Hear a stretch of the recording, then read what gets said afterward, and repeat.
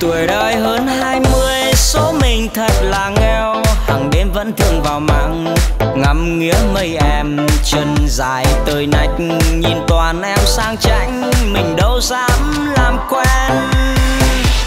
Phải đẹp trai ăn chơi, lắm tiền nhà điều kiện, bọn em mới chịu gặp mặt bay lắc đi bà, tiêu tiền đô la, chạy toàn xe tay ga.